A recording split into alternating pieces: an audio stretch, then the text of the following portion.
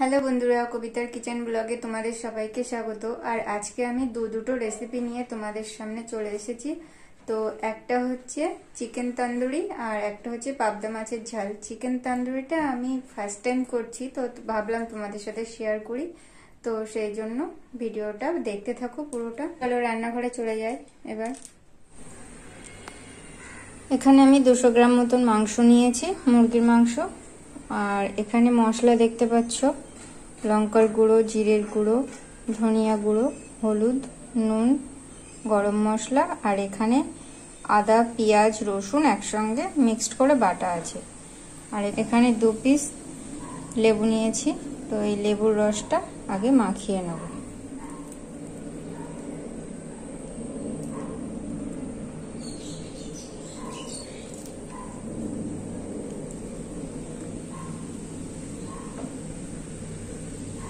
একটু গোলমরিচ গুঁড়ো দিয়ে দিলাম।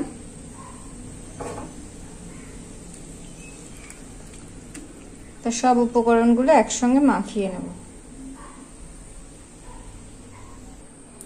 আমি এখানে মশলাটা একসঙ্গে মেখে নিয়েছি।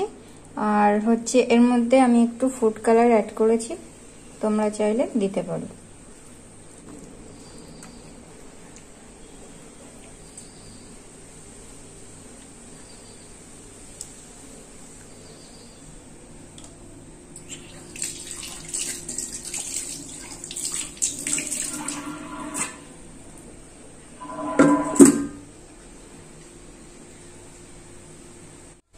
দশ মিনিট হয়ে গিয়েছে, এরপরে আমি একটা গ্যাসে ওভেনে একটা কড়াই বসিয়ে দিয়েছি।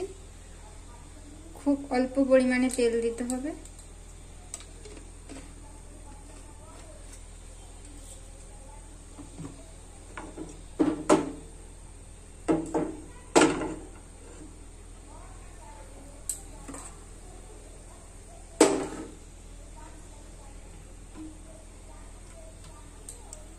এরপরে একটা একটা এরকম বসিয়ে দেব।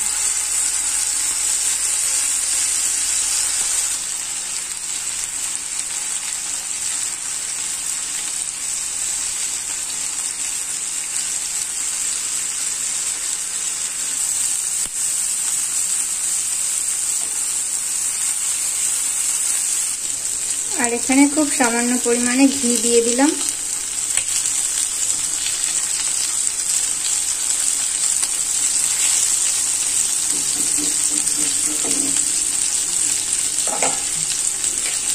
দিয়ে দশ মিনিট মতন অপেক্ষা করতে হবে।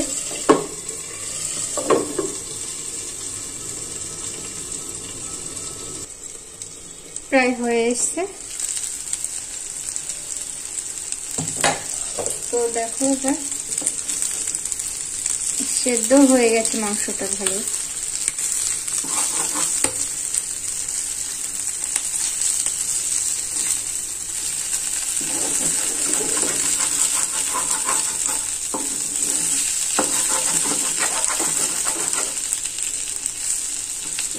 তারপরে মাংসগুলো এইভাবে এক সাইড করে দিয়ে এই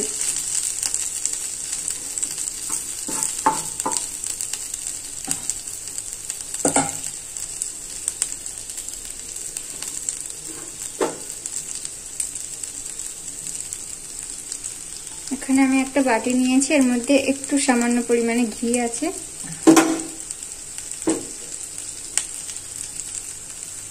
এটা হচ্ছে কাঠ কয়লা। এটাকে এর মধ্যে দিয়ে দিলাম।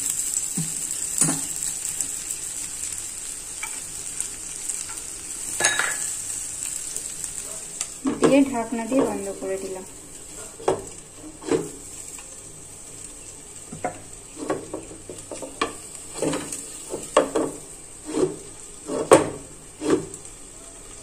আমার চিকেন তন্দুরি রেডি তো ভিডিওটা কেমন লাগল কমেন্ট করে জানাবে। চিকেন তন্দুরিটা রেডি হয়ে গেছে, এরপরে পাবদা মাছের ঝালটা করব, তার জন্য আগে মাছটা ভেজে নিচ্ছি। কড়াই গরম হয়ে গিয়েছে।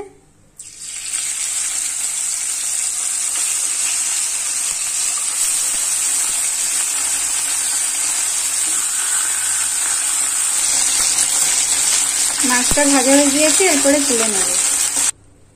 কালো জিরে দিলাম। রসুন বাটা।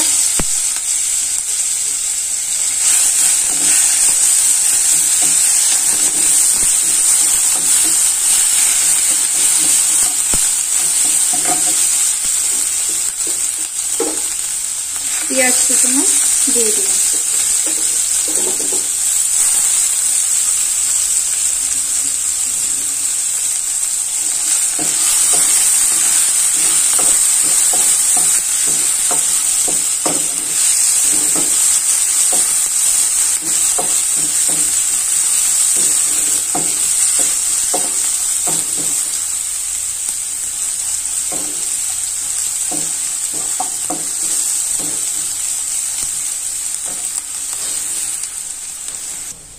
এখানে কাঁচা লঙ্কা বাটা নিয়েছি, দিয়ে দিচ্ছি।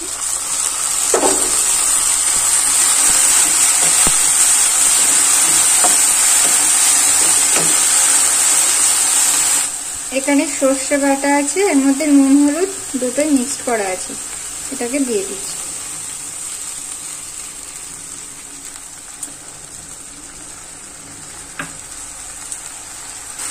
মশলাটা কষানো হয়ে গিয়েছে। আর এর মধ্যে আমি মাছটা দিয়ে দিচ্ছি।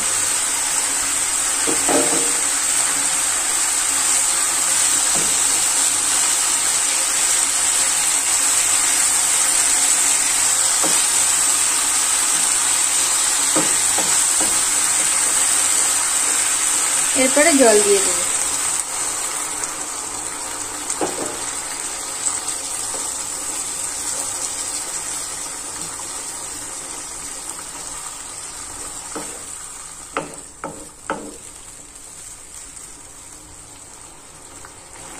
এর মধ্যে একটা কাঁচা লঙ্কা ছিঁড়ে দিলাম। এরপরে পাঁচ মিনিটের মতন ঢাকা দিয়ে রেখে দেবো।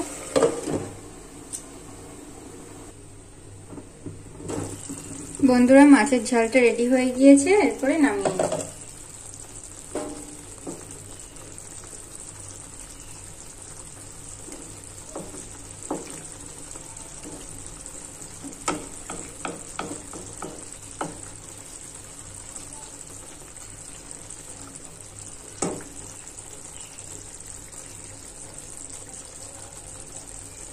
বন্ধুরা, আজকের ভিডিওটা এই পর্যন্ত। ভালো লাগলে একটা লাইক শেয়ার কমেন্ট অবশ্যই করবেন। আর সাবস্ক্রাইব করবেন।